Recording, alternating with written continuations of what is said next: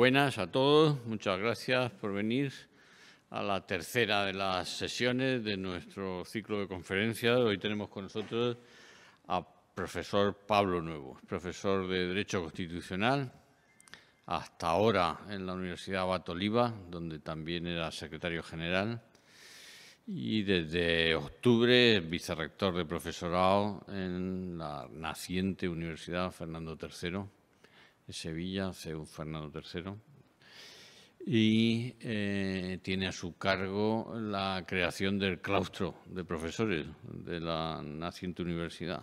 Así que tiene mucha faena.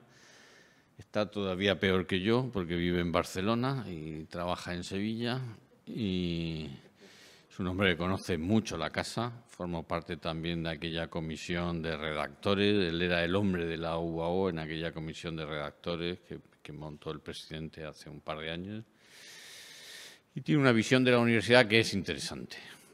Y que por eso está invitado a, participar con nosotros de esta discusión que tenemos abierta, mm, que es también una ocasión para pararse a pensar y para disfrutar de lo que es la universidad pensando en la universidad. Pues nada, muchas gracias. Eh, viene de Barcelona, camino de Sevilla, ha parado aquí como, como un nómada pero lo vamos a tener y no conocía la casa. Conociendo tanto la, casa, no conocía la Cardenal Herrera, por lo menos muchos de sus edificios, así que estamos enseñándoselo también. Muchas gracias, Pablo. Bien. Eh, bien, pues muchas gracias por la invitación eh, por venir a escuchar para poder compartir una reflexión sobre la universidad. Eh, efectivamente formé parte de esa comisión. Además, ahora cuando lo estabas diciendo, recuerdo eh, la discusión sobre si la centralidad del alumno, la centralidad del profesor, y cómo el rector señalaba que puede haber universidad sin alumnos, pero no puede haber universidad sin profesores. Lo que voy a hacer es, primero me gustaría explicar un poco el, porqué del título de la intervención, ¿no? esto que pone aquí, ni en el Paranaso ni en la biblioteca hay minas de oro, una defensa de la educación técnica, eh, que viene de eh, un, texto de, Newman donde eh, está criticando la Escuela de Edimburgo, que había atacado el modelo de universidad clásica sapiencial de Oxford, y dice, bueno, pero además estos gente de Edimburgo, pues, digamos, tampoco son originales porque ya Locke tiene un, unos textos en los que dice que la universidad, la educación, tiene que dedicarse a lo útil.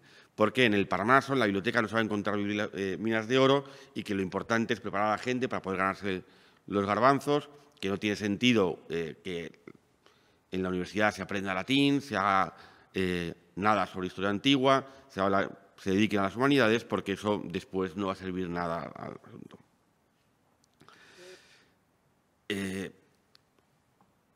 Claro, a partir de ahí a mí me venían como dos cosas eh, a la cabeza.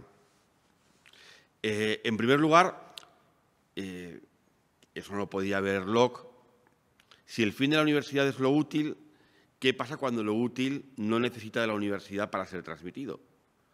Y eso ya no es un riesgo hipotético, sino que lo estamos viendo y de hecho incluso en el plan estratégico del CEU aparece, como en una de las primeras partes del contexto, eh, este hecho. Las universidades corporativas, las certificaciones que dan empresas tecnológicas, hay digamos, un tipo de formación que además habilita para profesiones que están relativamente bien cualificadas y, y bien pagadas, que prescinde de la universidad. Con lo cual dice, no, claro, eh, Primera cuestión. Eh, segunda, segundo polo en el que me quería mover, bueno, y por eso la segunda parte, no, quería hacer, caer, en lo, fácil de, eh, no, simplemente, bueno, pues critico el planteamiento utilitarista de la universidad y hago una defensa teórica de la universidad sapiencial que eh, en determinados foros va a ser bien recibido y, y ya está. ¿no? Pero mi planteamiento, mi aproximación, eh, la hago a partir de una mentalidad conservadora. Eh, y es que solo se puede construir sobre lo existente, y lo existente es, en las universidades que tenemos, es lo, lo que es. Y aparte, me parece que tiene sentido como misión fundacional que nos preocupemos por el futuro profesional de nuestros estudiantes, pues el desarrollo laboral es condición necesaria para que puedan llevar a término un proyecto de vida personal y familiar. Entonces, con estos dos polos, dije, bueno, pues voy a hablar de una defensa de la educación técnica, de la universidad técnica, en el sentido de universidad orientada también a la formación para la vida profesional, orientada, una universidad que tiene en cuenta las disciplinas eh, de carácter práctico.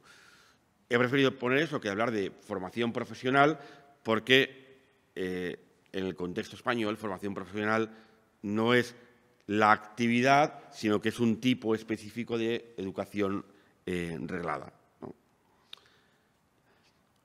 Si en lugar de estar aquí o en la Fernando III o en, Barcelona eh, estuviera en Oxford, evidentemente defendería su modelo. Pero me parece que proponer el modelo en nuestra situación es, una, me parece algo pedante, que alguien que abdica de su responsabilidad de pensar cómo podemos, digamos, Eh, tener una idea de la universidad que podamos llevar a cabo. Pues bien, con todo este eh, mosaico, mi, planteamiento y mi tesis es que la universidad, si quiere preparar para la vida profesional, tiene que ser universidad. Porque si no es universidad, no podrá preparar para la vida profesional en condiciones que le permitan superar, hacer algo distinto de lo que ya vemos que está haciendo otras instituciones que hay en la vida, en la vida social. Sería la, primera parte. Evidentemente, no quiero decir que otros modelos no preparen para la vida profesional. De hecho, acabo de hacer referencia a varios de ellos.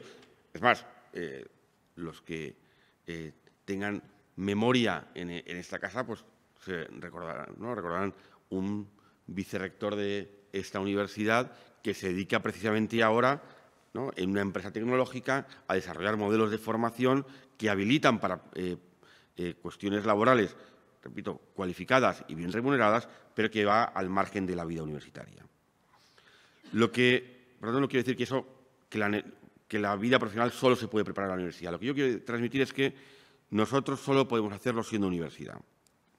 Porque si copiamos un modelo exclusivamente profesionalizante, lo haremos siempre peor que las instituciones que han nacido para eso. Eh, aunque solo sea porque tenemos un marco regulatorio que es el que es eh, y tenemos unas inercias que todos conocemos. Primero, ahora bien, siendo universidad, siendo de verdad universidad, la universidad prepara para la vida profesional de un modo distinto a esas otras instituciones. No sé si ese modelo es distinto es mejor en lo profesional, aunque yo intuyo que sí.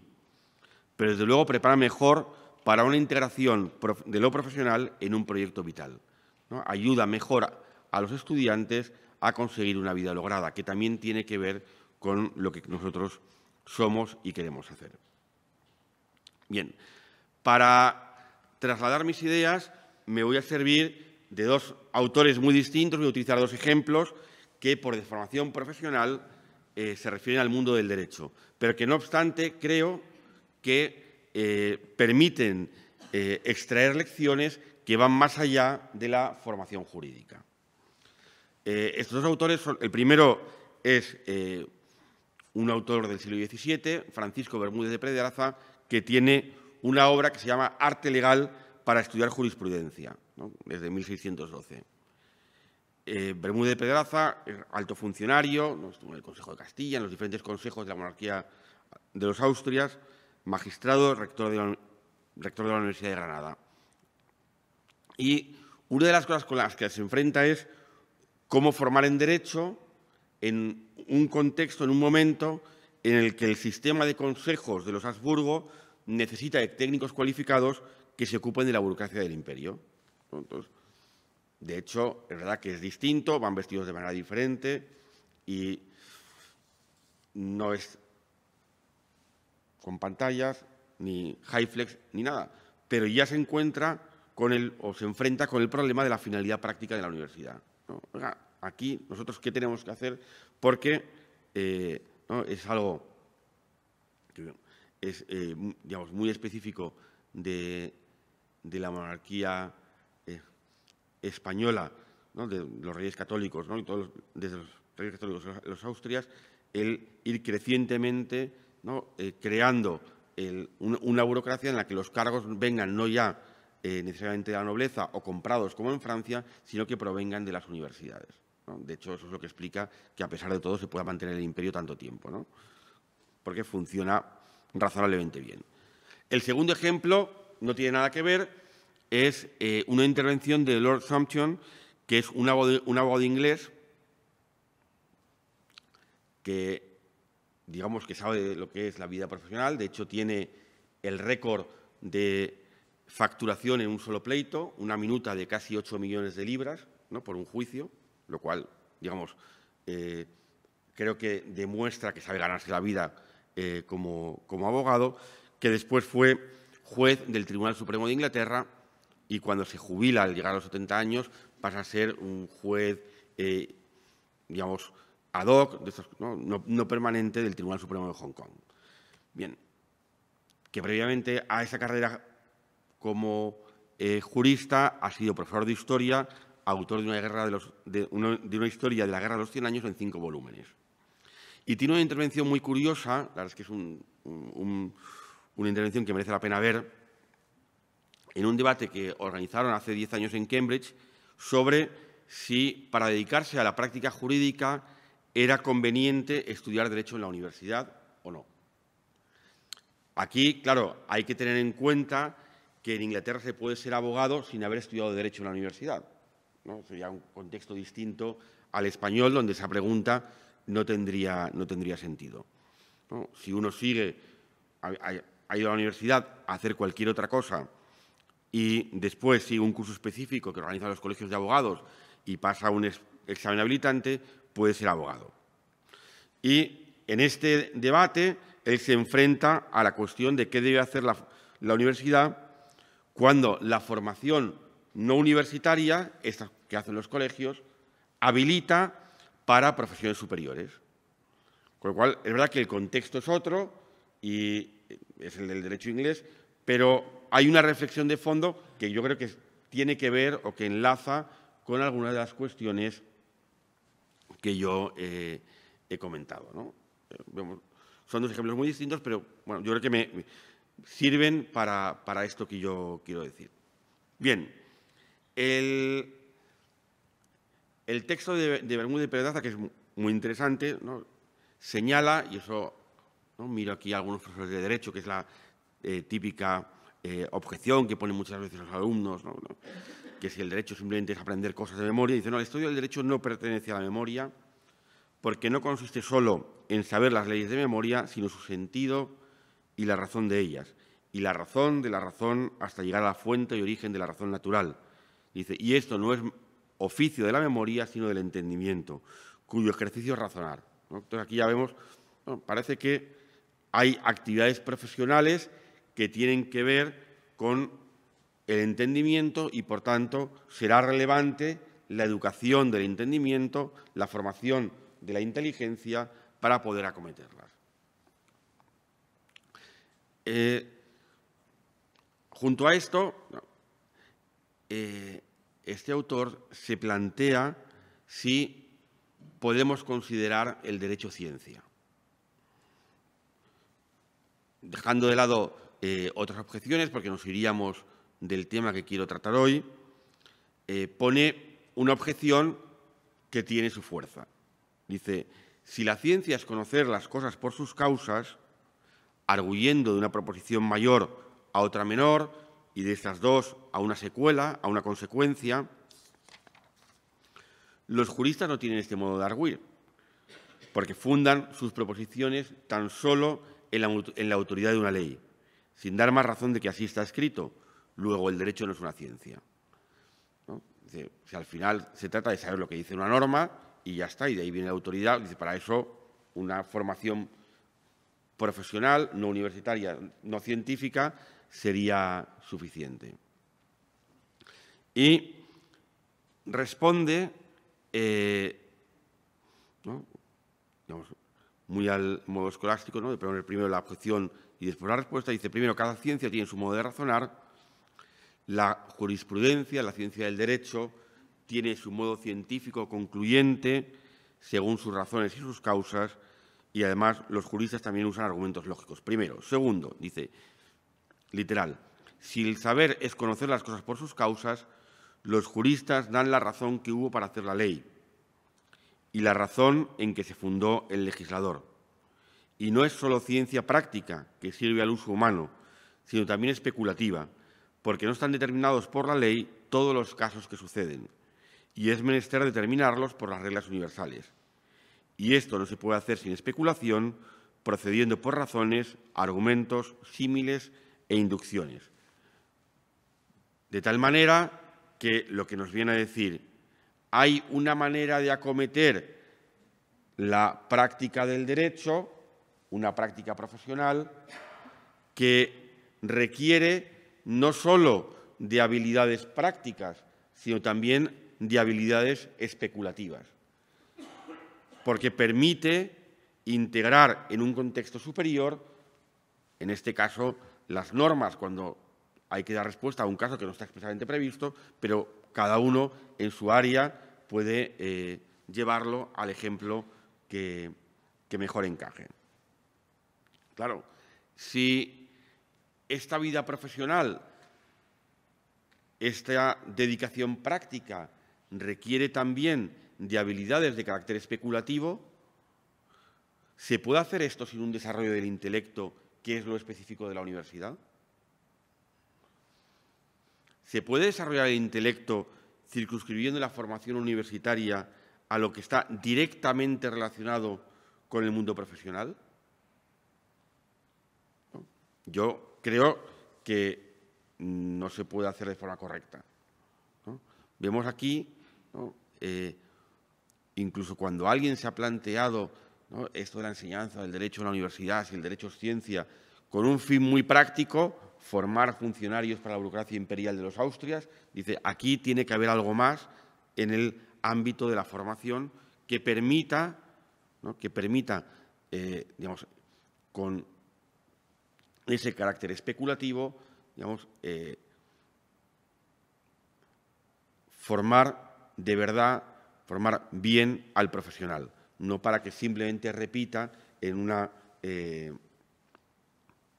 digamos, eh, una tarea muy concreta, muy determinada, en el que, aunque estemos hablando de profesiones superiores, como pueda ser la abogacía, sea equivalente a el que está en una cadena de montaje, Que, que no ve el conjunto de lo que se está fabricando, sino simplemente la pieza que tiene encargada.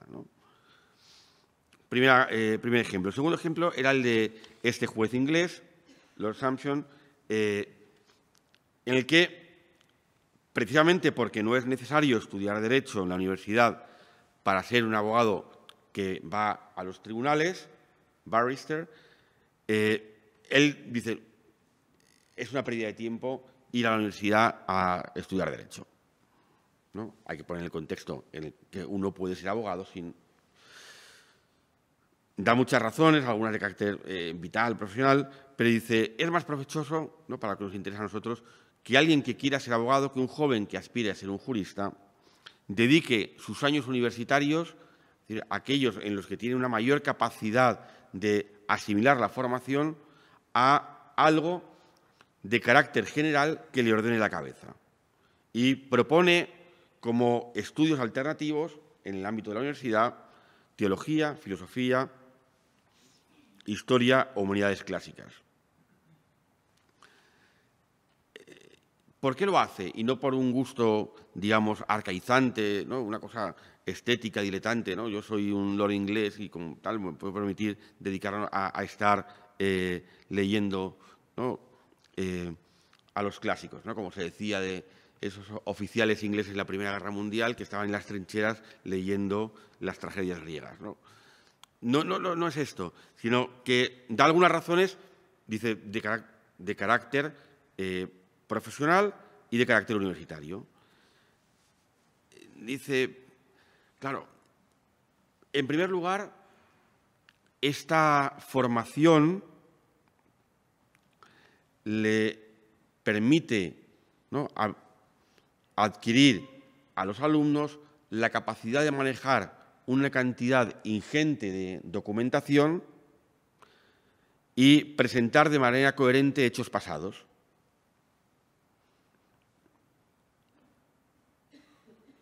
Y en el contexto del common law, esto es especialmente relevante. Dice. Una vez, dice eso es lo, más difícil, enfrentarte con cajas de documentación, ver cuáles son los de la, montaña de hechos que hay en un caso determinado, dice el 95% no sirven para nada, tengo que ver cuáles son los relevantes, cómo los presento, cómo los ordeno, qué sentido tienen. Dice, porque una vez que he hecho eso, encontrar la regla de derecho es bastante sencilla. Dice, eso nunca eh, ha generado eh, gran debate. Es verdad que es un, un sistema jurídico distinto del nuestro, ¿no? pero eh, de nuevo, me interesa no tanto lo específico de lo jurídico, sino eh, la razón que da de lo que hay que hacer en la universidad para después poder desempeñar actividades profesionales de carácter práctico. Junto a este motivo, que no es menor, da otro que yo creo que sí que tiene más que ver con nuestro contexto, porque es general y no se refiere al derecho, al derecho inglés aunque el ejemplo sí que venga de ahí. Y dice, en un contexto de hiperespecialización, una formación exclusivamente profesional priva al estudiante del conocimiento sobre asuntos humanos que pueden ser necesarios para el desarrollo de la profesión.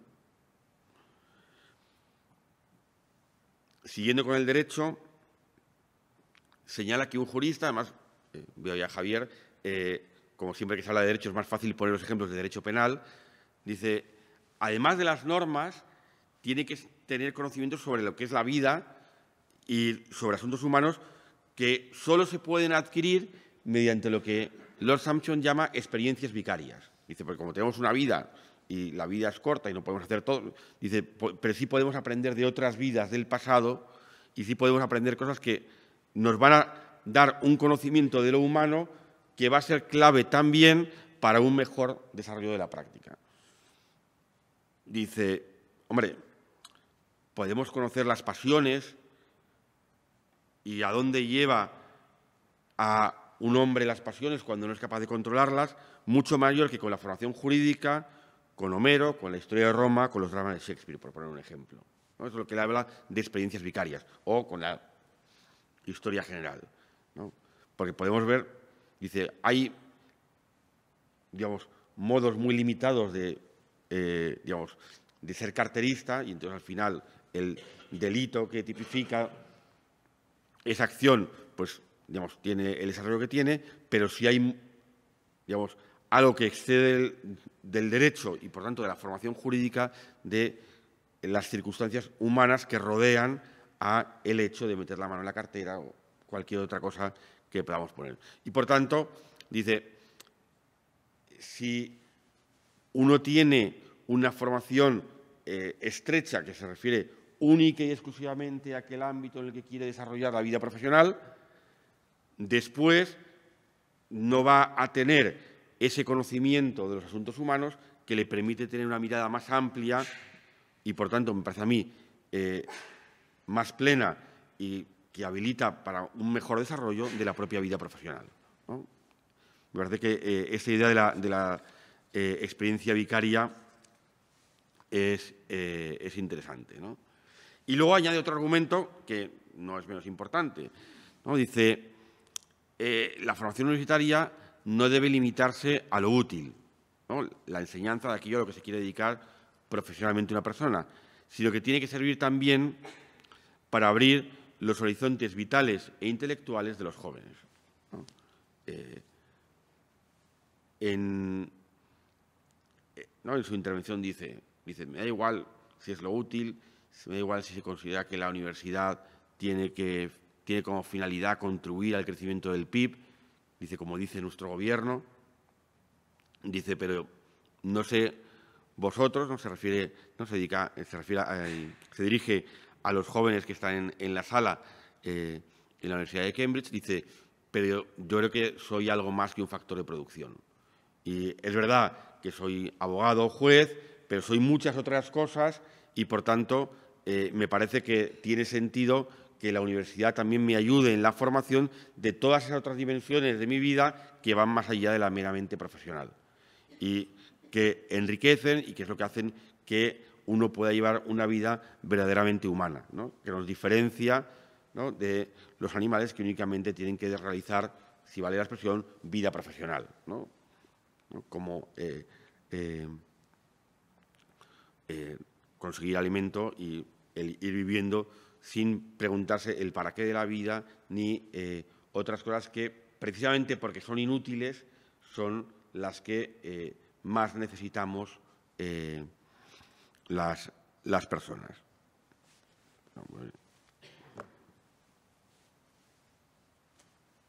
Bien.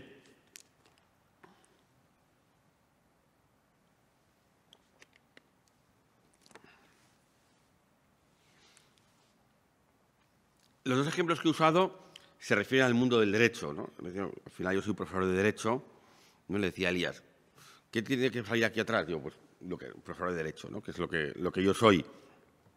En el cargo estoy y dejaré de estar, eh, pero profesor de derecho es lo que, lo, que, lo que soy. Es más, y lo que es, incluso eh, si tuviera que dejar la institución, seguiría siendo profesor de derecho o intentaría seguir siendo profesor de derecho. ¿no? Pero creo que, aunque sean ejemplos que vienen del mundo del derecho, se pueden extraer lecciones más amplias. Me parece que eh, podemos ver, podemos pensar que hay un modo universitario, científico, de abordar el estudio y, la transmisión también de las disciplinas orientadas a la práctica, no de las que son puramente especulativas. Y, por tanto, hay un modo específicamente universitario de preparar para la vida profesional. Hay otras formas de preparar para la vida profesional, fenomenal, pero hay un modo específicamente universitario de preparar para la vida profesional.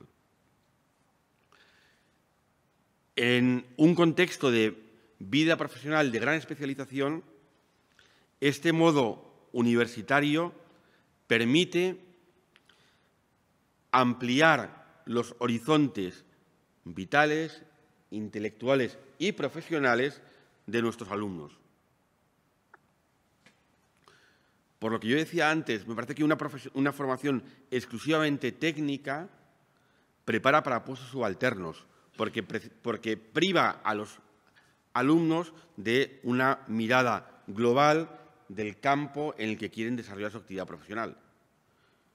Y, por tanto, eh, me parece, decía, me decía la pregunta retórica al comienzo, yo creo que incluso forma mejor para la profesión el modo universitario que el que es exclusivamente profesionalizante. Y me parece que esta cerrazón de lo técnico que, lleva a puestos subalternos lo hace incluso en las llamadas profesiones eh, superiores. Y entonces creo que eh, este modo universitario de abordar la preparación para la vida profesional lo hace de un modo más pleno que otras alternativas.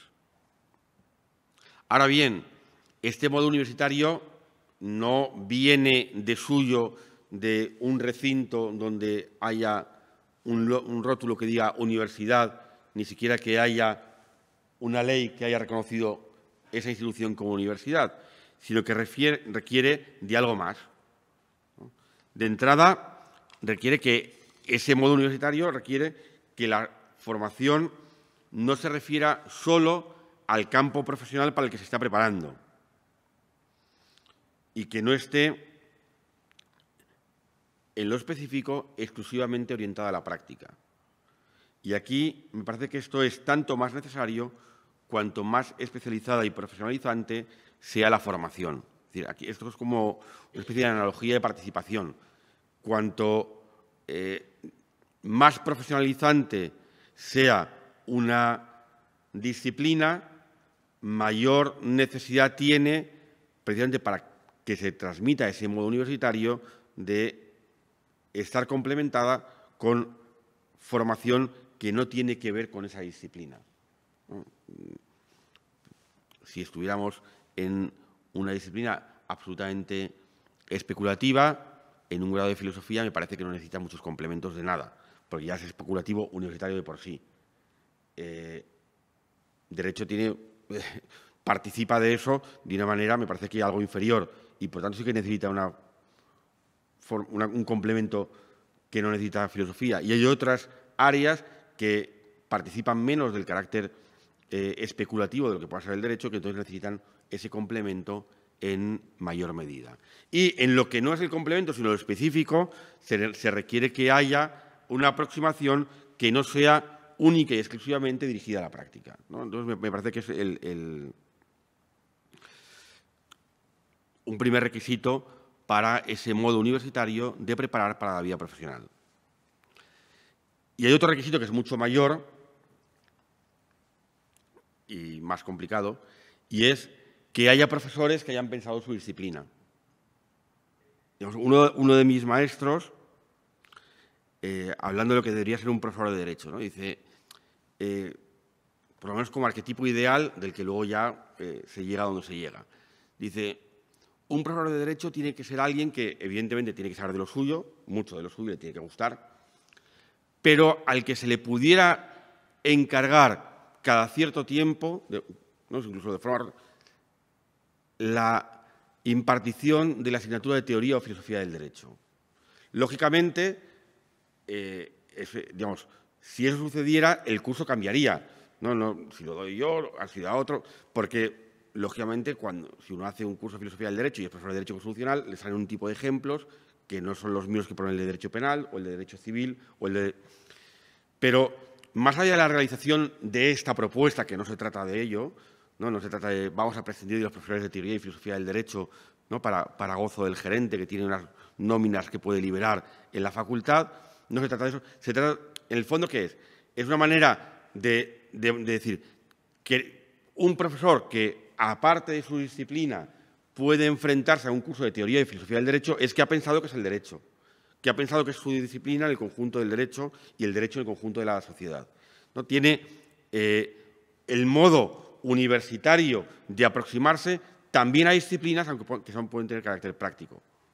Da igual si es civil, mercantil, procesal. Eh, porque, de hecho, se puede hacer.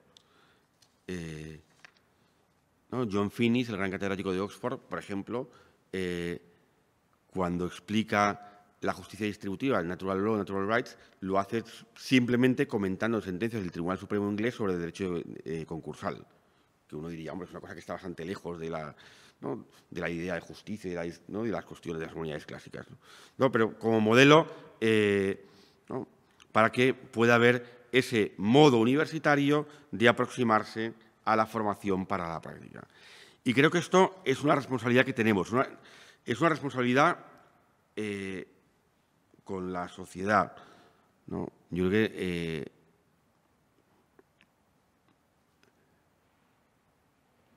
tenemos una vida cultural en el sentido amplio en España eh, bastante chata y yo creo que eso eh, obedece en parte a que las universidades han abdicado de eh, ser el lugar donde se custodia y se transmite la cultura superior y de irradiar eso a la sociedad. Pero también tenemos, digamos, una responsabilidad mucho más concreta con nuestros alumnos. tenemos que prepararles para la vida profesional, por supuesto, pero también tenemos que eh, dirigirnos a su razón, es decir, tratarles como personas adultas y mostrarles que son más que un factor de producción, que hay una manera distinta, propiamente humana, de acercarse al resto de dimensiones de su existencia y de integrar en ellas la actividad profesional que quieran desarrollar. Yo creo que eso es un servicio impagable que eh, pueden recibir de nosotros los alumnos. Y esa responsabilidad es mayor cuanto menos han podido aprender eso en su casa. Eh, no, digamos, no estoy haciendo una propuesta de universidad elitista en el peor sentido de la palabra, sino yo creo que en el bueno. Eh, si algo tiene esta casa y es que apuesta por gente que viene de entornos que no necesariamente puede pagar la universidad privada, yo creo que un favor, eh, un servicio, una eh, ayuda que les puede cambiar la vida es que vean que son más que un factor de producción, que también ellos, que no han tenido ese ambiente intelectual en su casa, merece que se les proponga la educación del intelecto y, por tanto, dar un paso a una vida profesional más lograda, más plena y, eh, digamos, que eh, colme eh, del mejor modo sus, sus aspiraciones. creo que si esto lo hacemos, podemos hablar y, con la cabeza bien alta de una defensa de una educación técnica, de una universidad técnica, de una universidad orientada a la práctica. Por supuesto que nos interesa la formación de nuestros alumnos para la vida profesional, por supuesto que nos tiene que interesar eh, el qué van a hacer cuando terminen y cuando salgan de nuestras aulas, pero creo que nuestra responsabilidad irrenunciable es hacerlo de un modo específicamente universitario que es lo que si no hacemos nosotros no van a tener nunca. Muchas gracias.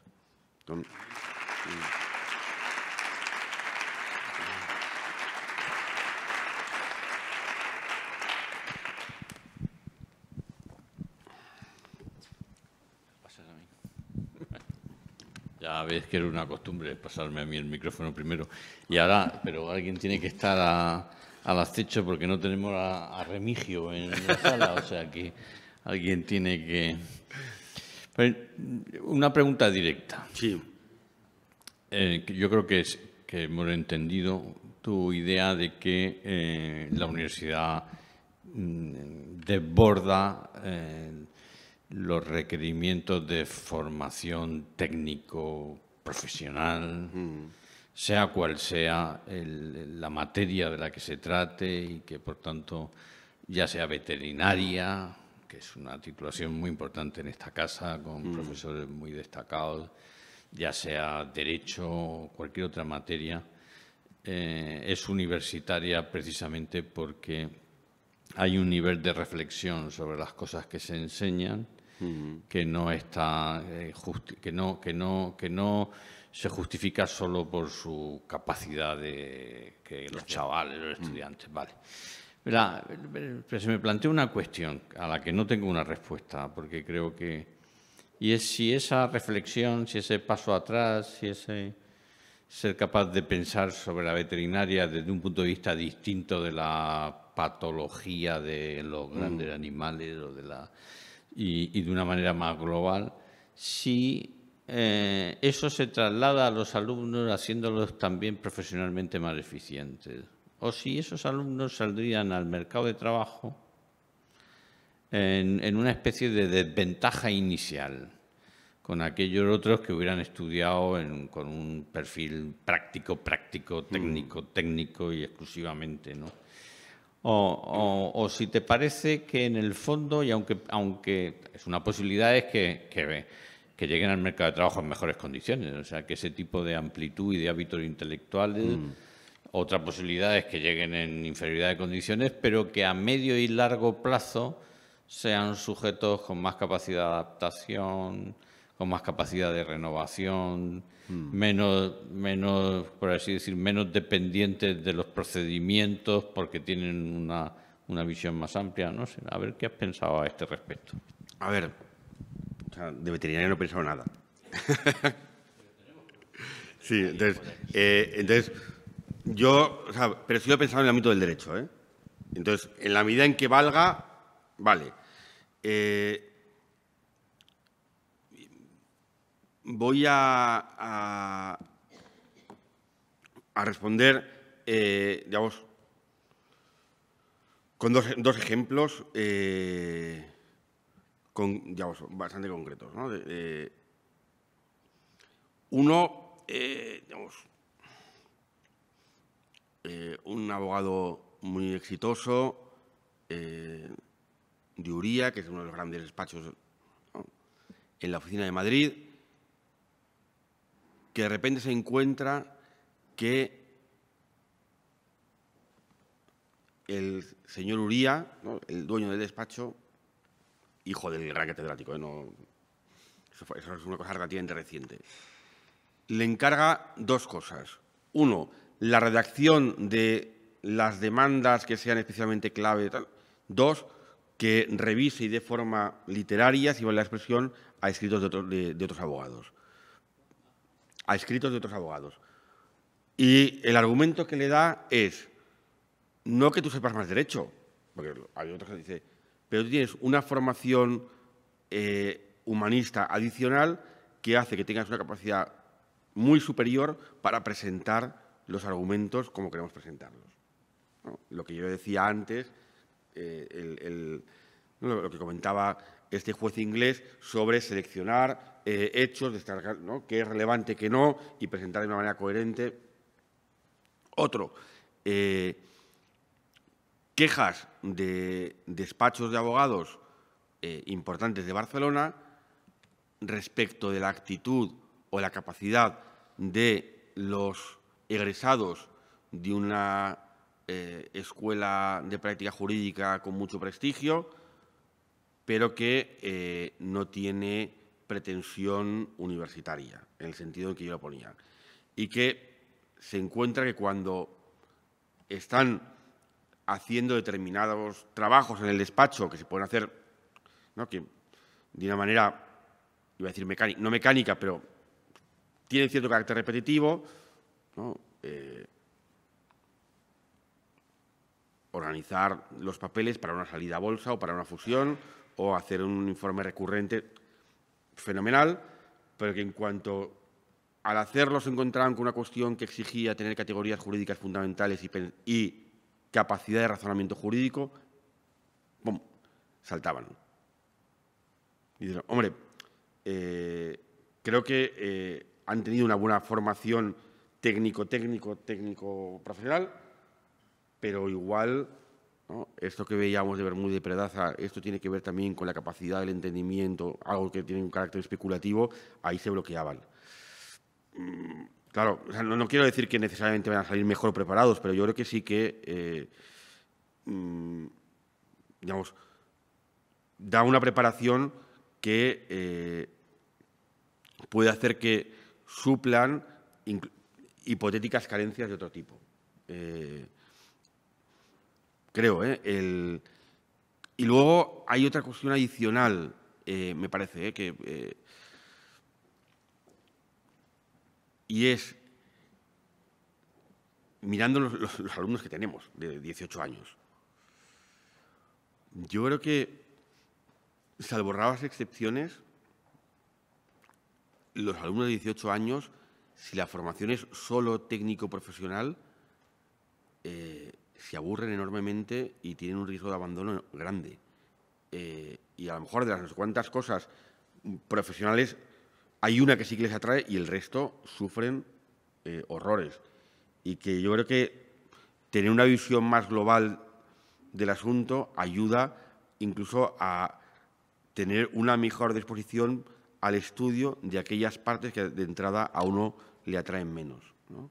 Eh, me parece eh, que, las cosas también irían por ahí. No sé, o sea, no tendría que pensarlo más, pero yo creo que no es una tontería esto. ¿eh? Porque si es solo lo profesionalizante que voy a hacer, y no hay nada más, no hay nada de reflexión sobre eso, ya, pues yo sé, ya sé que no me quiero dedicar al derecho laboral, ¿qué, hago aquí? Si solo es profesional, si, Entonces voy a sufrir enormemente en gran parte del plan de estudios, incluso en eso. Creo que una formación en la que ayuda a, integrar mejor todo eh, facilita ¿no? Es verdad que luego está la libertad de cada uno, pero facilita una aproximación diferente al estudio, me parece. Eh, sí, hola, buenas tardes. Eh, lo primero, muchas gracias por la charla, me ha parecido muy interesante y como alumno me ha surgido alguna duda.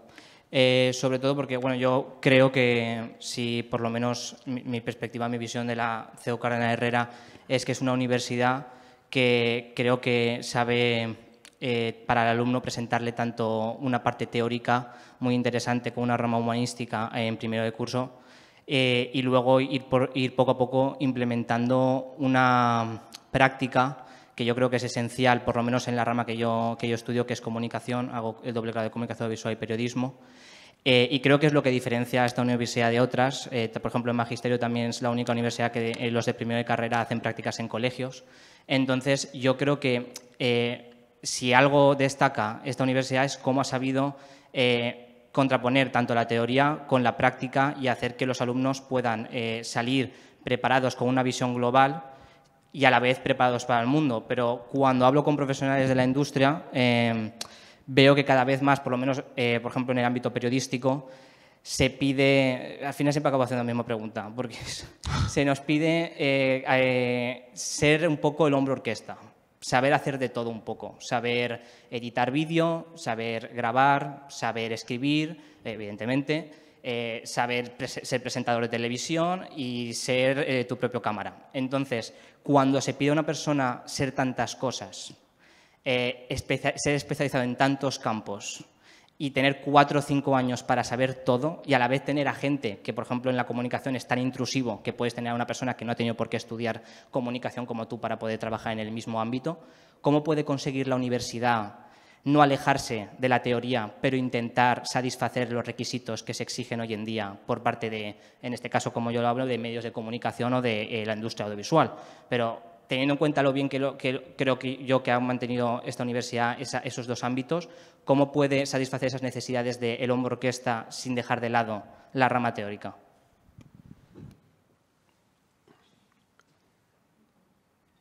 Voy a responder en plano general, porque me parecería, eh, digamos, una cosa bastante presuntuosa por mi parte decir que hay que hacer en los estudios de comunicación, porque yo no me dedico a la comunicación. Entonces, eh, ¿no? ahora sí, de repente, sin dedicarme a eso, sin pensar, pontificar sobre cómo se tienen que organizar los estudios de comunicación, me parecería que es una frivolidad que, no es nada universitaria. Eh, pero creo eh, que ya en tu pregunta hay algo que apunta a que eh, igual los títulos tienen que ser menos especializados precisamente porque se te piden después tener mucho más cosas. Claro, eh, yo soy, voy a estudiar un grado en dirección de empresas deportivas. Yo estoy, acotando tanto lo que yo quiero hacer y estoy cuatro años solo... Claro, dicen, no, es que luego me piden más cosas. Ya, claro, pues eh, si yo he tenido una formación eh, no tan, tan estrecha, después mi capacidad de adaptación va a ser menor. ¿no? entonces yo creo que que apunta que lo, me parece. Es más, de hecho, se supone que el modelo del grado, que luego todas las universidades lo han incumplido, o lo, hemos incumplido, era precisamente el de la formación general para la especialización después. Eh, y, creo que igual es que la respuesta es que nos estamos equivocando queriendo que todo lo haga el grado. Y lo que tiene que hacer el grado es sin alejarte del mundo de la comunicación, darte las herramientas intelectuales para que luego tengas capacidad de adaptación y de especialización en un momento posterior. No sé, digo, eh, me parece que iría por ahí, porque no, se, soluciona el asunto, decimos, incrementamos la especialización en el grado para que puedas tener todas las especializaciones que te piden, porque como la especialización es cada vez mayor, siempre va a haber algo nuevo especializado que no está en lo que tú estás haciendo y entonces te quedas ahí cojo. Eh, entonces, yo creo que el, formar eh, el hábito intelectual para después poder adaptarse a las diferentes especializaciones, especializaciones, cambiantes me parece que es mucho más provechoso. ¿eh? Pero digo, sin querer entrar en diseñar un grado en comunicación ni nada por el estilo, que gracias a Dios no me toca. Gracias, Pablo. A mí, si me permites, voy a intervenir por delegación, porque Remigio quiere que, me os diga que está en la sala, está atendiendo, y eh, quería trasladarte una, pregunta y una observación a través mío. Me pregunta, eh, te pregunta si bueno, por supuesto que la, la, ponencia le ha parecido muy interesante y le gustaría saber si no crees que la universidad es el lugar donde se viene a, a saber, a saber decir, a saber preguntar, a saber aprender en general, a saber hacerse las preguntas necesarias por el, por el sentido de la vida, el sentido de la, de la libertad, de, de, la verdad, eh, porque realmente luego al final eh, los grandes juristas ganan pleitos también basándose en los principios generales del derecho y no solamente en la parte mm. Más, más, técnica. Mm. Esa es su... sí, o sea, yo, yo, yo, creo que sí. Eh, evidentemente, eh, lo que pasa es que, eh, digamos, claro, al final el, el, tiempo siempre es limitado, ¿no? Entonces uno, cuando plantea la intervención, tiene que acotar.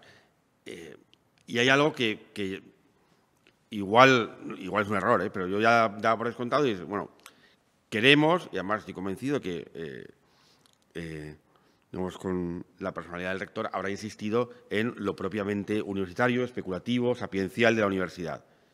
Y eso me, y, y me parece fenomenal. Y, ¿no? y, de hecho, al final, ¿no? cuando hablaba de esa especie de, de, participación de la idea universitaria de los diferentes estudios, me parece que la filosofía está por encima. Y a mí, que no me dedico a eso, me parece, no, me, no me duele emprender eh, el, el, reconocerlo. Pero yo, eh, como el tiempo era limitado, yo lo que quería hacer era eh, algo que es complementario, no es alternativo, no es una cuestión disyuntiva. Es que también cuando pensamos en la universidad orientada a la formación para la vida profesional, que tiene sentido en sí, pero mucho más tiene sentido en lo concreto de nuestras universidades, porque, digamos, eh, no vivimos el presupuesto público, tenemos que tener alumnos que es verdad que pueden buscar una experiencia mayor, tal, pero también buscan la empleabilidad y, todo esto me parece fenomenal. Entonces digo, pues como esto es así, me parece que hay que eh, reflexionar sobre el modo universitario de preparar para la vida profesional. Porque si no, eh, tenemos dos riesgos. O vivir en tensión como si fueran cosas distintas, con una especie de ruptura interna, están los que quieren la universidad sapiencial y luego están los otros, ¿no? y nos peleamos, y entonces al final tenemos una universidad que es hiperespecializada con un pegote, porque lo viene de Madrid, que son los que mandan, y ponen las asignaturas de humanidades, ¿no? Y yo creo que eso no es bueno para la universidad como comunidad, creo que no. Eh, o, digamos, o, no planteamos bien el. Y, o, queremos ser demasiado. copiar esos modelos que están fuera, que, que, repito, que pueden ser magníficos para la formación profesional, pero que no son lo propio de la universidad. Entonces, con esa preocupación, digo, digo, pues me parece que merece la pena el pensar, ¿hay un modo universitario de preparar para la vida profesional? Que además de el, digamos, la virtud que pueda tener en sí misma, creo que puede servir para integrar mejor nuestras universidades en las que está la dimensión sapiencial, es evidente, pero que somos universidades privadas y vivimos también de preparar a los alumnos para la vida profesional y hacerlo de una manera lo más armónica posible y sin tensión. Porque no son cosas, me parece a mí, disyuntivas, son complementarias. Lo que pasa es que hay una que ya daba por supuesto y digo, pues no entro ahí. Ya lo doy por hecho, sí, claro. Y por, empezaba hablando de Newman y, me parece fenomenal. Pero creo que sería hacer trampas si habláramos solo de eso eh, porque no, no, lo somos. Yo, eh, nos puede gustar mucho, poco o nada, ¿no? Eh, pero ninguno de nosotros somos fellows en un college de Oxford. Mm, nos podría encantar estar allí, pues por eso me parece que mi, aproximación es a partir de lo realmente existente y las universidades que tenemos son las que son. En España no existe ese modelo de universidad puramente sapiencial eh, de Oxford en el que prácticamente no hay exámenes, son todo tertulias o discusiones de libros con poquitos alumnos y el profesor vive en el col. Eso no existe. Nos puede parecer ideal o entonces proponer eso que no existe y que no tiene posibilidad de existir en España me parece que es un juego romántico que no va a ningún lado.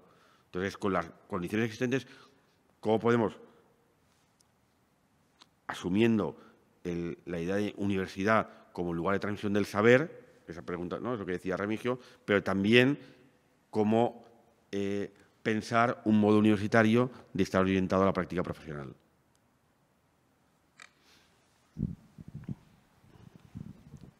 Eh, sí, muchas gracias, eh, don Pablo, por su brillante exposición.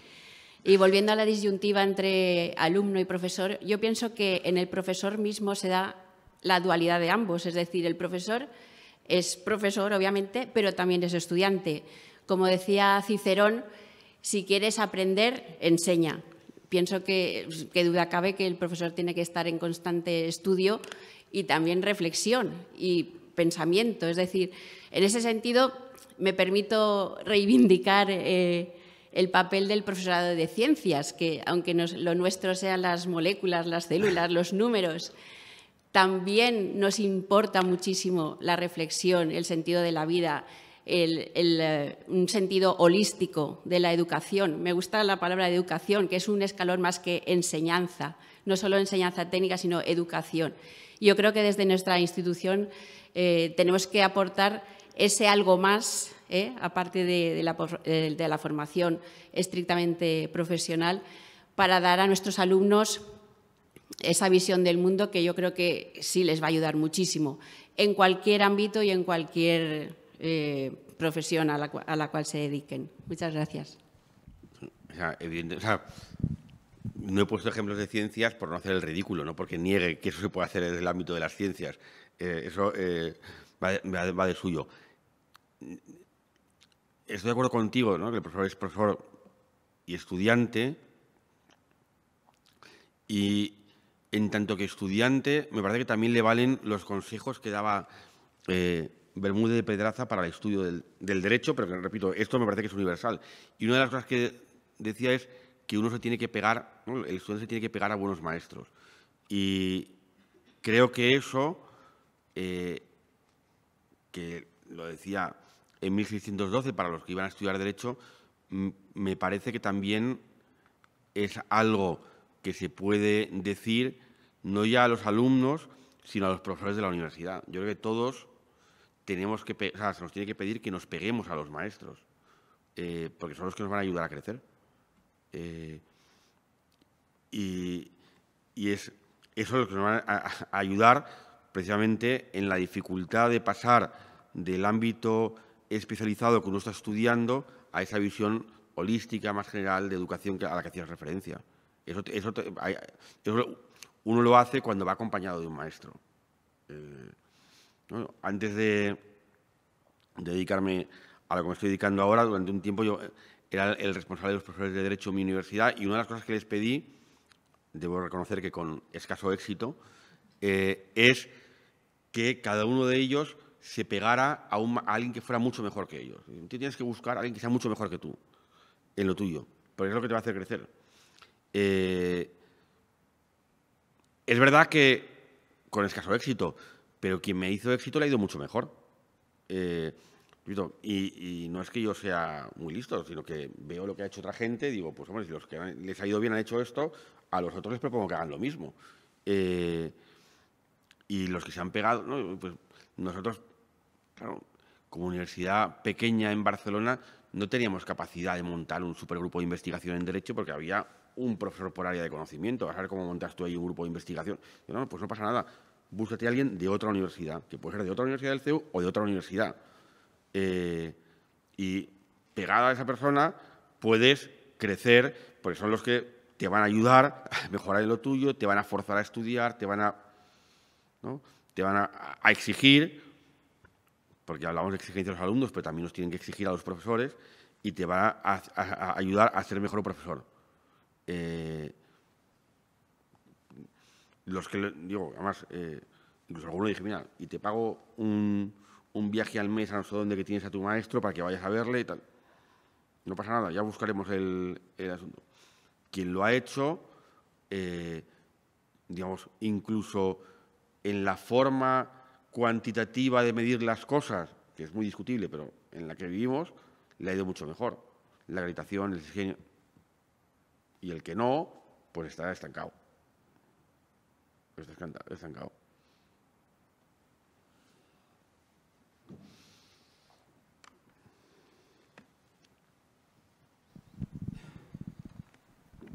Bueno, buenos días. Lo primero, agradecerte tu asistencia, porque además me ha gustado mucho la, la charla. Yo soy vicerrector de profesorado con profesores. no sé cuál de los dos eh, sería mejor, pero bueno, mi intervención no va por ahí. Eh, yo te quería hacer, si puede ser, dos, dos preguntas, dos curiosidades. ¿vale? La primera, yo diría casi residual, pero es una cosa que yo siempre me he preguntado y quería saber tu opinión. y es la siguiente, si comparamos el catálogo de grados o licenciaturas que existían eh, hace 20 o 30 años con la actual, mm. pues probablemente se hayan multiplicado por dos o mm. por tres. Y mm. en muchos casos con una especialización, eh, lógicamente, pues más amplia, ¿no? Entonces, la primera pregunta es si, si tú crees que esto dificulta o no afecta a lo que estamos hablando, porque al final los, un chaval de 18 años, de 17, incluso unos padres, ven, eh, tienen este sello a veces de profesión, de mm. eh, empleabilidad, de no sé qué, y luchar eh, las, los grados más clásicos, que suelen ser más generalistas, mm. que suelen tener más paciencia en la formación y utilizar probablemente más tiempo en esta formación más especulativa y menos práctica. Hablo en general y va por barrios. Quizás en derecho esto no ha ocurrido tanto, pero en experimentales, en salud, en técnicas, mm. esto es exagerado. es exagerado si comparamos, si ponemos los, dos catálogos, eh, habla por sí solo, ¿no? Entonces, la primera pregunta es si, si crees que esto mm, realmente no, perjudica o, no afecta o, beneficia a, lo que estamos hablando, a esta formación, digamos, no mm. solo técnica, no solo profesional, práctica, sino también especulativa. ¿Hago la segunda? Sí. No tiene mucho que ver. Esta es un poco más capciosa, eh, porque yo soy, eh, como la anterior eh, profesora de ciencias, entonces yo, hubo un tiempo que yo daba en el máster de secundaria una asignatura de, de complementos de ciencias y, yo me di cuenta de una cosa muy evidente, pero que no, no sabía bien contestar, y es cuando se ha hablado siempre de formación humanística, eh, y perdona que lo diga así, se ha hablado siempre de formación de letras. Hmm. O sea, o si quieres decirlo de otra manera, cuando hablamos del concepto de cultura general, que tampoco es que sea una cosa súper definida, no se suelen incluir eh, formación eh, de ciencias. Hmm. Y eso es posible, confieso que no lo tengo claro, pero yo creo que limita la capacidad especulativa de cualquier persona, sea de ciencias, de letras, de técnicas o de lo que sea, y más en el mundo que vivimos. No, no digo que sea ni mejor ni peor, sino que la limita, que llega un momento en que al final vivimos en un mundo tan técnico y tan científico que puede llegar a cosas tan, tan tan sencillas, entre comillas, de cómo funciona el cerebro de una persona o no saber determinados conceptos muy generales de biología, muy generales, eh, puede limitar ese, ese, avance de cualquier persona, un arquitecto o un abogado o un... Entonces, la, segunda pregunta es si, si, ¿qué opinión tienes de esto? Si realmente, eh, si tienes alguna opinión sobre si incluir eh, cierta formación, digamos, tradicionalmente más asociada a las ciencias, hmm. yo todavía soy de los de letras y ciencias, eh, podría mejorar o no, o las humanidades son las humanidades. A ver, eh, la primera pregunta. Eh, Esta es un poco más sencilla. no, la, primera pregunta. Pues mira, no, soy gallego, pero soy abogado, entonces te diría, te diría depende. No, ¿por qué? En, abstracto estoy de acuerdo. ¿eh? Yo creo que la multiplicación de títulos no ayuda a una comprensión de lo que es la universidad. En abstracto. Eh, y entonces, digamos, si yo pudiera decidir, evidentemente, el catálogo de, títulos anterior, entre otras cosas porque además, eh, incluso de forma instrumental, nos simplificaría la vida porque cuando tienes el catálogo de todos miramos con añoranza el catálogo de títulos, que tienes el Real Decreto con, el catálogo, con las, formaciones básicas, con lo cual te olvidas de los verificas y todas estas cosas raras que, con las que nos tenemos que pelear. Y digo, aunque solo sea por eso ya merece la pena, pero además por el tema de la formación general. En abstracto. Es verdad que en concreto tiene eh, una ventaja que no es, digamos, que no es menor eh, y que parece una tontería. Y es que esta multiplicación de títulos, que repito que en abstracto a mí no me gusta, también permite eh, atraer alumnos y, por tanto, conseguir créditos para jornadas de, profesores a tiempo completo. Porque mm, eso es clave. Digo, eh, es verdad que a lo mejor yo estoy pensando eh, en el contexto de una universidad muy pequeña, como es la de Barcelona, y una naciente, como es la de Sevilla. claro, mm, porque si no tengo profesores a tiempo completo, me da igual si tengo catálogo de títulos generalistas o tengo, da igual, no, tengo profesores que puedan hacer, con lo cual, y por tanto, si no tengo profesores, no tengo universidad. Entonces, yo no sé si desde el punto de vista instrumental ha podido llegar a, ha podido ayudar en algún momento a que haya profesores, eh, yo, si pensáramos no en concreto, sino en un mundo ideal en el que no hay restricciones presupuestarias, digo, pues mira, pues da igual, aunque al final tenga un profesor que tenga que dar tres horas un semestre y no tiene eh, créditos ni grupos para nada más, pero le puedo tener a tiempo completo, pues evidentemente mucho mejor la, formación generalista. Pero me parece que no es el contexto en el que estamos. No, no sé si respondo así. Y la segunda, eh, yo, a ver, yo estoy de acuerdo contigo. Eh, hay un, se cuenta una anécdota de otro juez que fue presidente del Tribunal Supremo en Inglaterra, que, por lo que comentaba antes, no había estudiado Derecho en la universidad, sino que había estudiado Química. Y, de hecho, había estado en una buena universidad dedicándose a, la química. Entonces, en, una, eh, en una reunión con eh, juristas alemanes, ¿no? para los no iniciados, ¿no? los alemanes son el, no va más de la dogmática, de la reducción del derecho a conceptos, una cosa súper sistemática que tienen casi, casi una mente jurídico de ingeniero, vamos. Y entonces le preguntan, ¿cómo eh, te dedicas a esto eh, y habiendo, sido, habiendo estudiado química y cómo eh, ¿no? has tenido dificultades para llegar a ser juez habiendo estudiado química? Y dijo, no, no mira, es que la verdad es que me ha sido relativamente sencillo pasar de una disciplina compleja a una mucho menos compleja. Y yo estoy de acuerdo.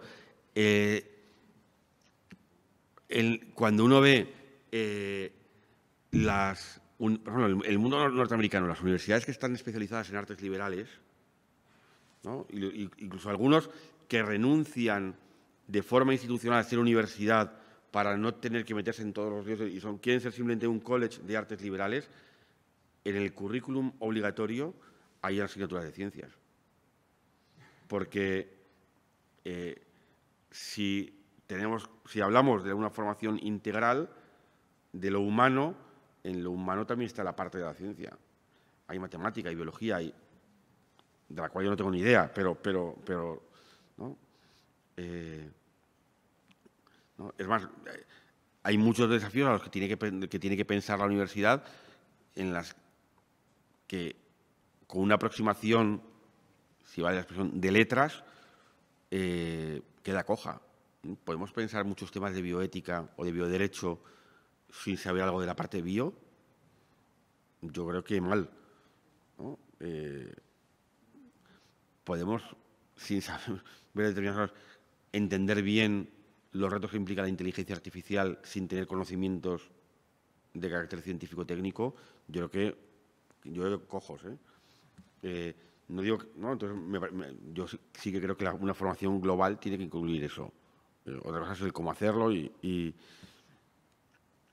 eh, con un sistema eh, educativo como el que tenemos en España, claro, que te llegan a la universidad habiendo abandonado toda formación científica a los 15 años y de repente les metes un tocho de biología en primero de derecho y les rompes. no, sé, no sé cómo hacerlo, pero que en abstracto me parece que tiene sentido, claro, sí.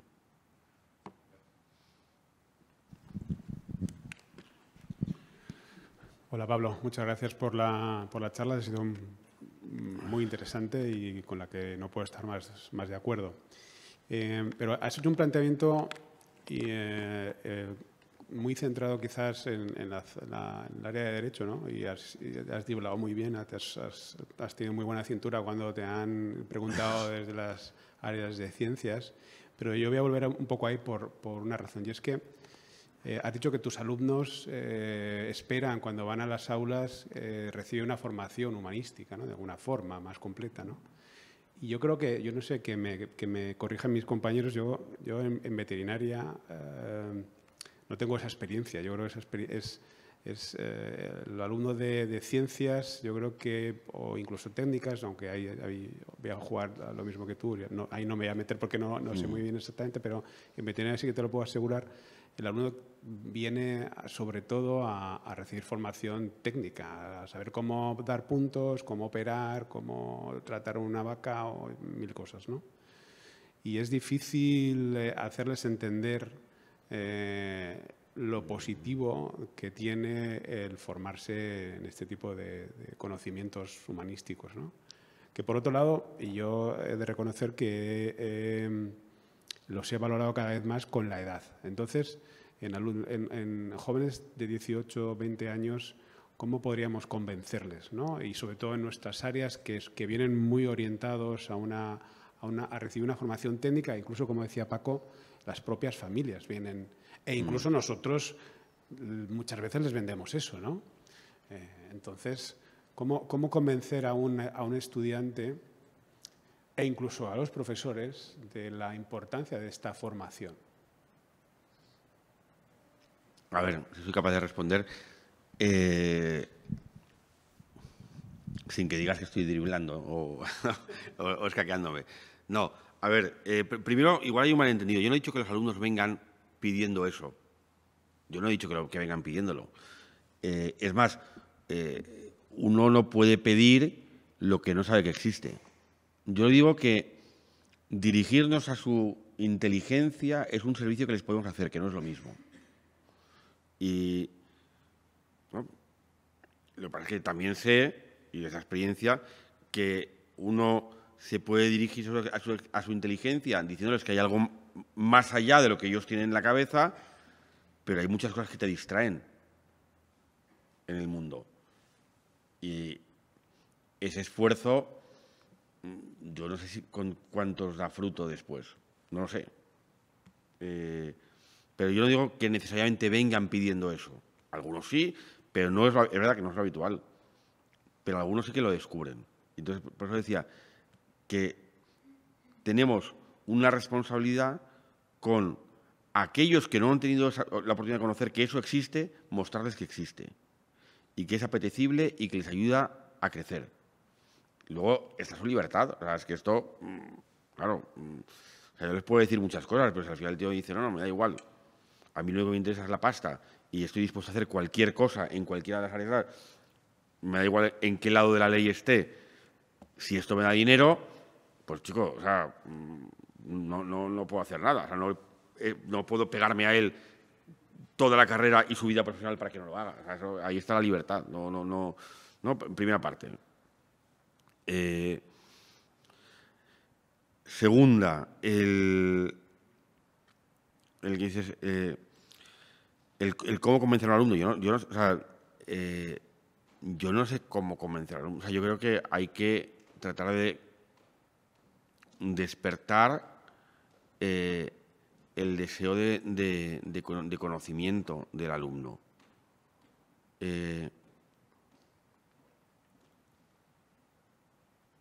Y para eso el profesor tiene que haber tenido la experiencia del gozo de entender algo, ¿no? el gozo intelectual de entender algo. Y, porque si no ha tenido esa experiencia, no se lo puede transmitir al alumno. Eh, cuando ha tenido, cuando uno de repente entiende algo, dice, ostras, ¿no?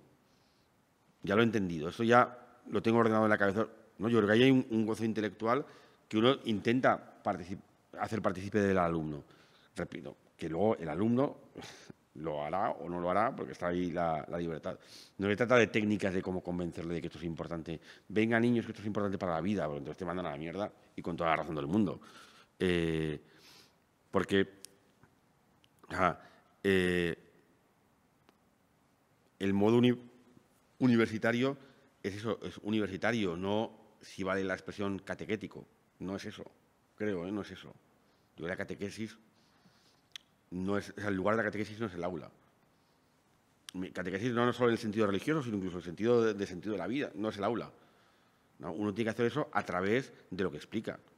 No, se trata de, una explicación técnica de repente meter morcillas y humanistas, no sé qué tal, porque me parece que eso es un timo para el alumno y es una falta de respeto.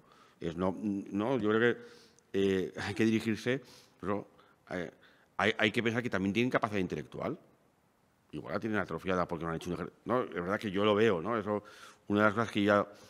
Barcelona es un sitio que no es eh, especialmente grande y después de muchos años yo ya veo de qué en qué colegios hay vienen alumnos que tienen capacidad para una eh, vida universitaria plena, aunque luego no hagan ni el huevo y les acabe echando porque suspenden todo, ¿no? Tienes capacidad pero no haces nada, fenomenal, y te vas, y qué alumnos vienen de colegios en los que no han hecho un ejercicio intelectual en su vida. Y, por tanto, eh, tienen esa capacidad bastante atrofiada. Algunos salen adelante y, van, de lo que yo estoy diciendo, pues captando lo que pueden. Eh, y no es lo mismo en primero que en cuarto. Eh, pero se trata de meter así morcillas o hacer una cosa... No, es dirigirte a ellos, ¿no? Es que, precisamente porque os respeto, sé que sois también ¿no? sustancias individuales de naturaleza racional. Podéis pensar. Eh, no, no se trata de, venga niños, que eso creo que es una forma de engañarles. Y, y el alumno, yo creo que otra cosa no, pero cuando el profesor le engaña se da cuenta. Vamos, o sea, incluso el alumno malo se da cuenta, este tío me está engañando.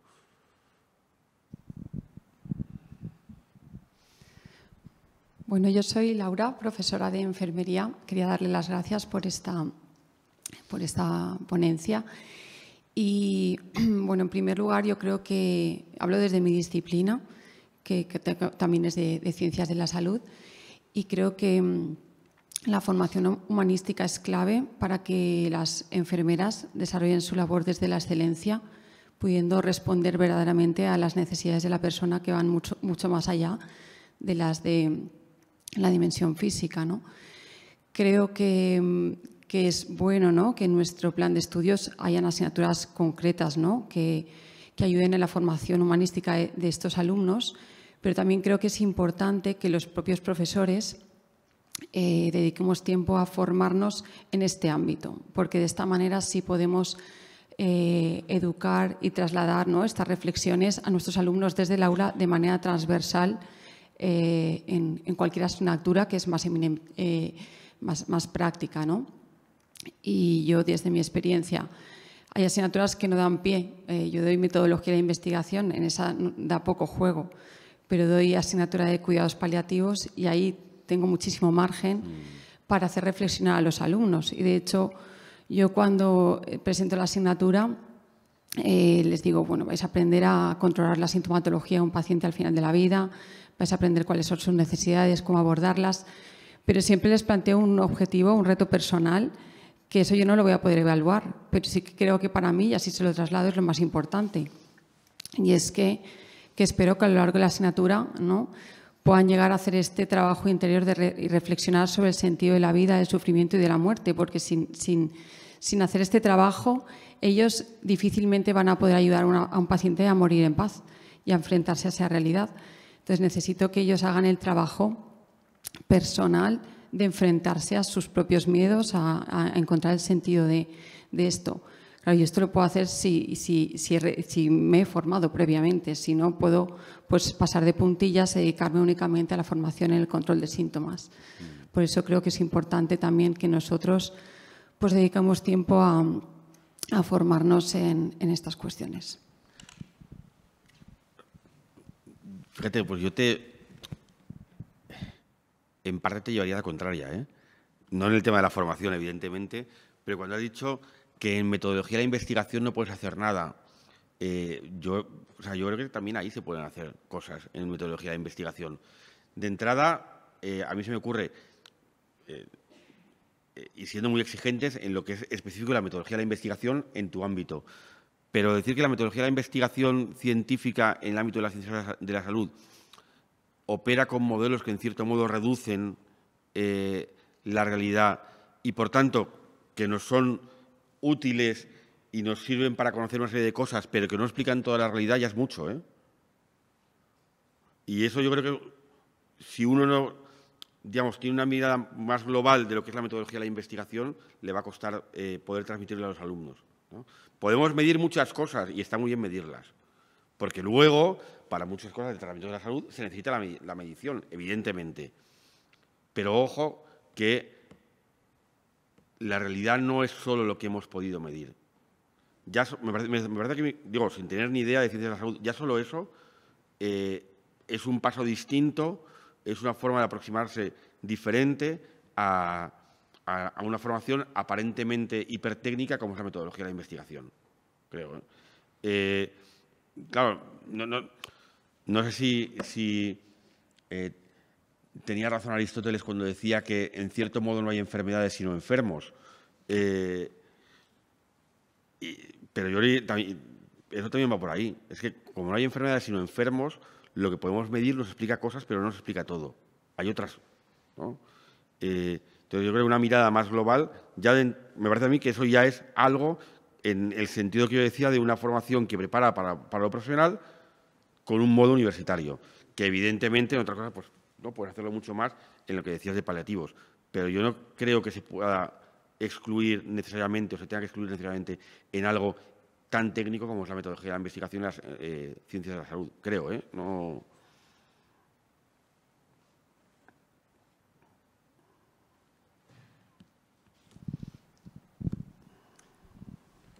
Muchas gracias, Pablo unirme de nuevo a la felicitación porque, por la charla y por, sobre todo por estas reflexiones que estamos teniendo, yo también del área de veterinaria. Eh, pero es un poco eh, totalmente de acuerdo. O sea, es que al final yo, yo veo a veces, me da la sensación de que lo, fácil para el profesor es no entrar en estas discusiones con el, con el alumno, no discusiones, sino en estos planteamientos. Y en veterinaria puede parecer que todavía estamos más alejados porque tratamos animales. Pero eso es una gran mentira. No tratamos animales, tratamos con personas a través de animales. Eh, las decisiones que puede tomar un veterinario en el ámbito clínico, en ámbito de producción animal, en ámbito de seguridad alimentaria, tienen consecuencias sociales muy importantes.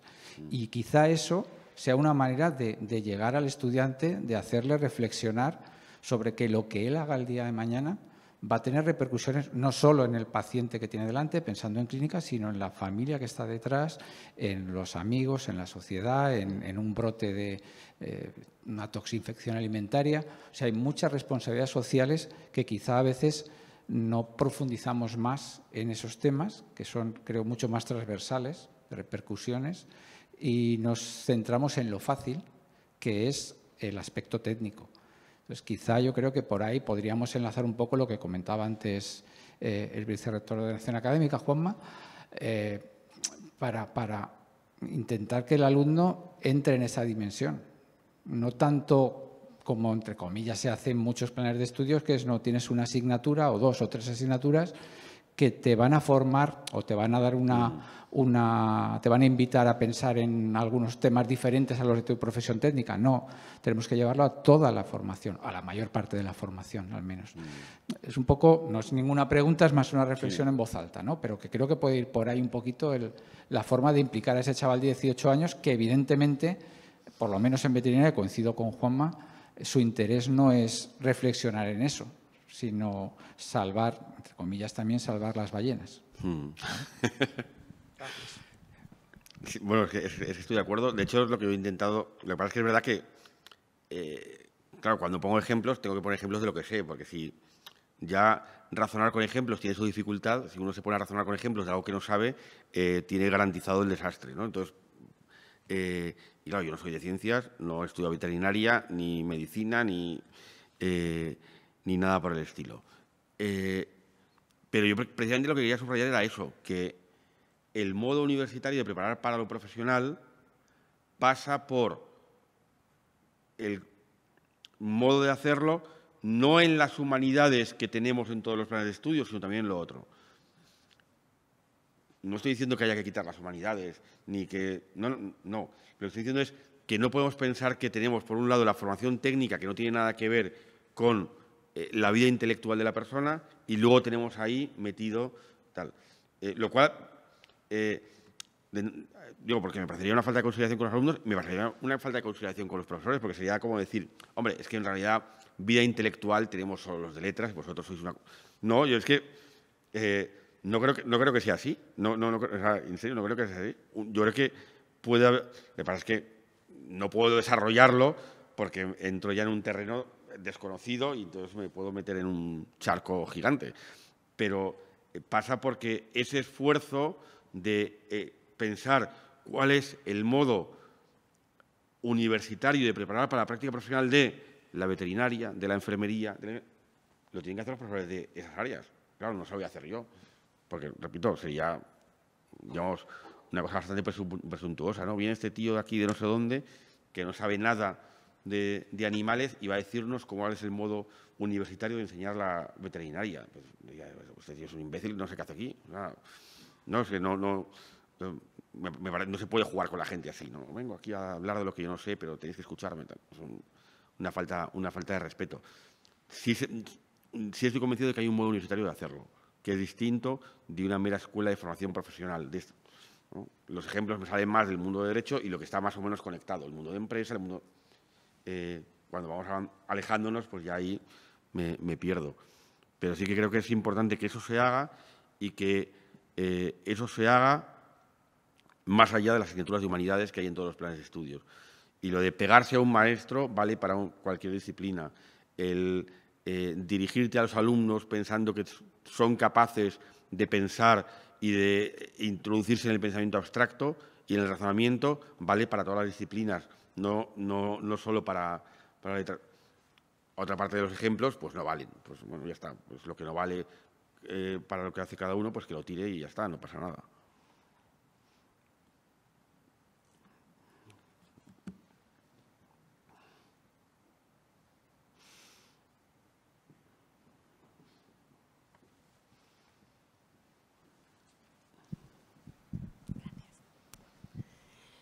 Pablo, eh, yo soy Rocío, soy profesora del Departamento de Ciencias de la Educación y quería agradecerte también las reflexiones que, han has venido a compartir con nosotros. He disfrutado enormemente porque yo eh, hice la tesis sobre educación integral, eh, diseñamos un modelo asiológico de educación integral compuesto pues, por eh, todos los valores todas que, que alcanza las diferentes dimensiones de la persona, por supuesto el valor intelectual, social, afectivo, moral, etcétera, y entre estos el valor instrumental, como no, ¿no?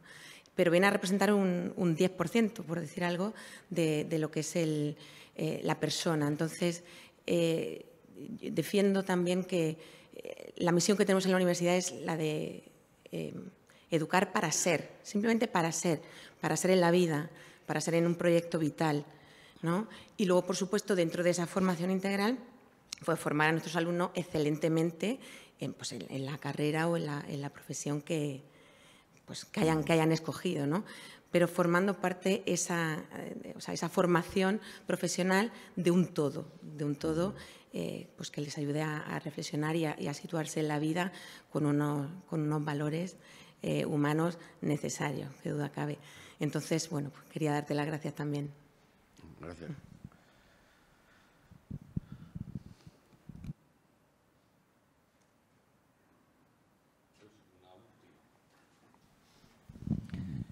Bueno, y, esto no, va tanto al hilo de la conferencia como del conjunto de los asuntos que han surgido.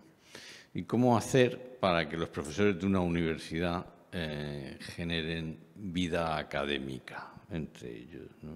y no solo en los cubículos de las áreas de conocimiento, de los grupos de investigación, de la, fin, de la, de la dependencia más o menos administrativa de los departamentos, sino cómo hacer para que de verdad una universidad, obviamente te estoy preguntando una cosa que me preocupa, hmm. pero como para que una universidad sea un, sea un lugar al que eh, podamos invitar a nuestros estudiantes, a los que quieran, a los buenos, a los que se dejen, podamos invitarles a acceder y que eso suponga un enriquecimiento personal, que yo creo que por procedimientos que no podemos terminar de saber porque las áreas, porque los ámbitos de la universidad son muy heterogéneos, que es muy improbable que nos redunde también en una mejoría profesional, en una mejoría técnica, mm. porque es muy improbable que, que la inteligencia se distinga tanto del cuerpo humano como que para correr hay que hacer abdominales y que corre bien el que tiene el o sea, que hay que hacer dominada para correr bien. Pues es muy difícil que la inteligencia sea tan distinta de eso. ¿no? Y, dicho con la, o sea, con eh, em, las resistencias que encontramos en eso, y no son resistencias académicas, no es que tengo un criterio académico, mm. no, son resistencias por indiferencia, por apatía, por, como ver, aquí tenemos 100 sillas y estamos mm. menos de 100, no sé cuántos, pero menos de 100, ¿no?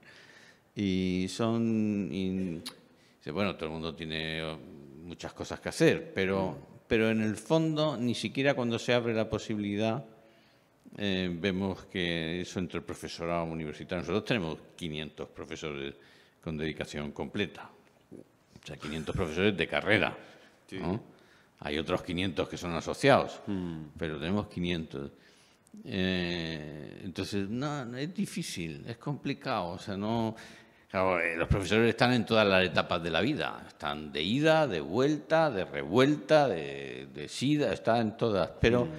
pero es difícil encontrar eh, una institución en la que haya 500 personas, de las que suponer unas inclinaciones vocacionales y una pasión por lo que hacen de gama alta, de nivel alto, porque no es lo mismo que otro tipo de ocupaciones, y sin embargo encontrar tantas dificultades para movilizar eso, vida interior, vida, vida interior de la institución, quiero decir, discusión sobre cuestiones sobre si las humanidades deben de incluir o no materias científicas hoy, si las materias científicas son capaces de entenderse a sí mismas sin perspectiva humanística, o sea, cosas que, bueno, uno puede tener una respuesta u otra, pero la discusión debería resultarnos interesante y no parece, no parece que sea fácil. Y no es asunto de esta universidad, es asunto general ¿eh? de, las universidades. Bueno, no te digo ya las públicas. Hmm. aspirar a eso en las públicas es sencillamente eh, pues estar fuera de la realidad de lo posible, ¿no? evidentemente no, no tengo la respuesta y, y la varita mágica. Eh, sí se me ocurren cosas. A mí sí se me ocurren cosas. Eh, en su momento yo leí una conferencia muy buena del cardenal Pupart sobre la Universidad Católica y en la que el cardenal Pupart decía que un lugar fundamental de la Universidad Católica es la cafetería. Eh, y de hecho es lo que más me gustó. El resto, bueno, es la cafetería porque es en la cafetería donde pueden pasar estas cosas que decía el rector. Eh, siempre que, y yo creo que aquí, eh, la cafetería esté pensada no solo donde como lugar donde uno va a comer para seguir dando clases, sino donde uno puede estar. Y, de hecho, a mí me parece que no ayuda el diseño que hay en las cafeterías en las que es, digamos, equivalente eh, en el sentido, en su organización funcional, la parte de alumnos que la parte de profesores. A mí, por ejemplo, parece una tontería, pero la que hubiera eh, comedor de profesores que invitara a después seguir charlando, me parece que ya de entrada es, es, algo que ayuda a, esto, porque entonces, ¿no? si la gente charla, pues al final charlará de muchas cosas, pero también puedes charlar de lo que está pasando en una clase. Y, y, y salvo que uno digamos, si uno llega y se sienta y hay profesores de otras disciplinas, acaba hablando, ¿no? Y esa comunicación empieza a suceder. Entonces, a mí, eh, Me parece que un, elemento esencial es la cafetería.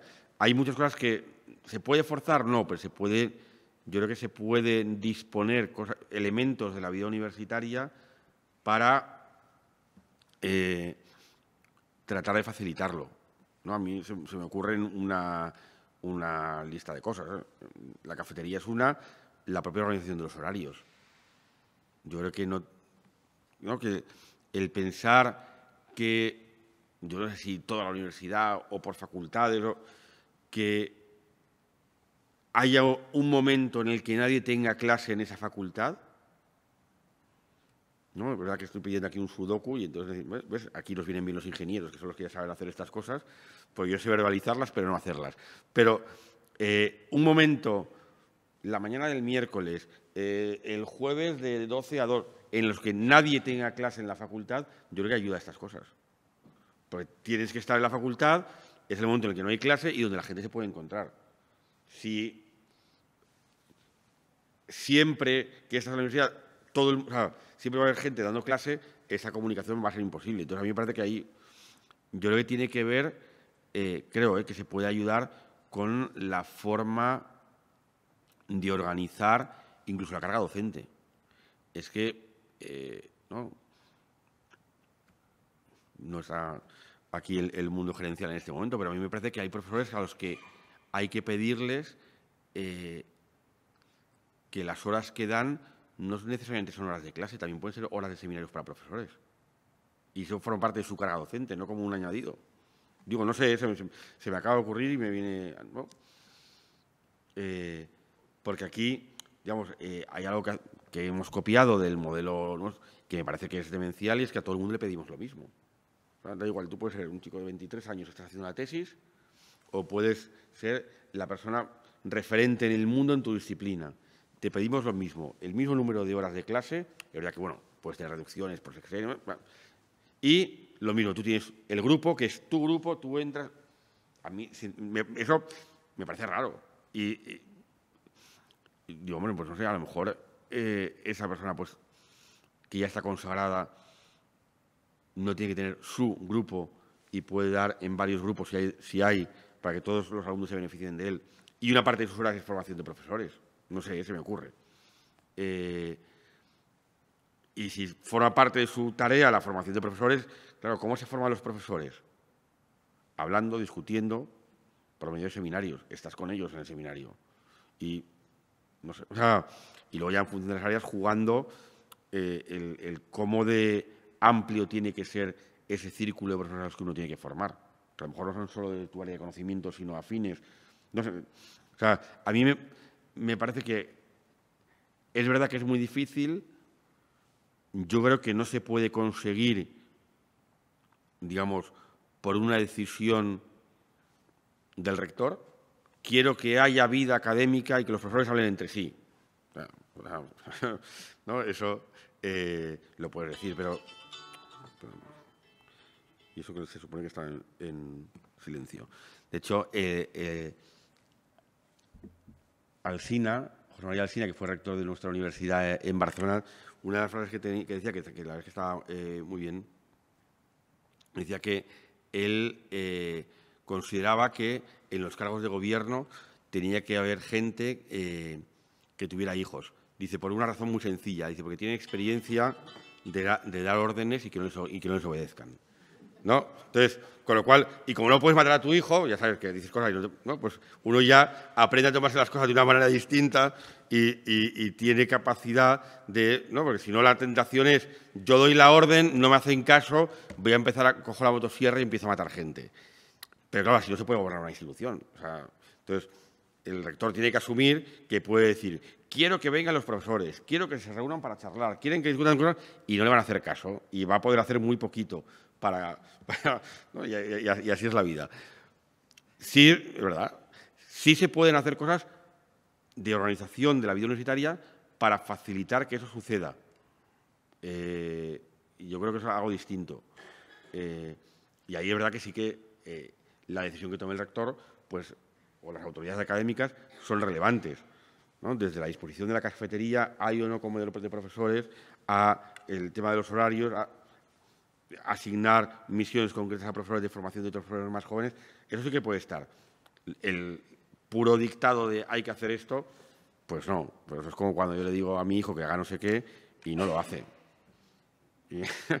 Y, se lo puedo decir muchas más veces, mm, pero no es cuestión, o sea, me ha oído la primera, pero... Y como no le puedo matar, ya está crecidito y más grande que yo y más fuerte, pues dice, oye, pues a lo mejor. Entonces tienes que aprender ¿no? a gobernar sin, sin, sabiendo que no te van a hacer caso muchas veces. Sí disponer para que pueda suceder. Eh, ya solo eso me parece que es un mensaje a los profesores de que también se les está considerando desde la institución como seres que merecen la pena mm, por sí mismos, que también tienen capacidad de vida intelectual, lo que decía yo antes de los alumnos, que no son material fungible. No tengo este, es una pieza, pero si me cae no pasa nada porque este otro, porque total, para lo que tiene que hacer, me es indiferente uno que otro. Es más, este, pues si cobra menos, pues mejor que mejor, pues ya está, solucionamos un... ¿no? Eh, yo creo lo otro, eh, además de favorecerlo, me lanza un mensaje correcto al profesorado, me parece. Preguntas de nada y una. Eh,